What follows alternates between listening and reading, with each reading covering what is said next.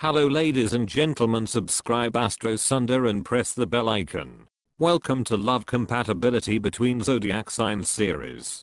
Today we are going to see love compatibility between Gemini and Capricorn. Gemini is very impulsive and unstable. Capricorn on the other hand is extremely organized and likes to have plan for everything he does. The two will find it difficult to live together since one is searching for adventure and the other one is trying to stick to the schedule. Capricorn will often be left jealous and unhappy by Gemini's flirtatious nature and Gemini will feel that the goat is way too predictable and boring. Not the best match, and can cause quite a bit of frustration to both of the parties.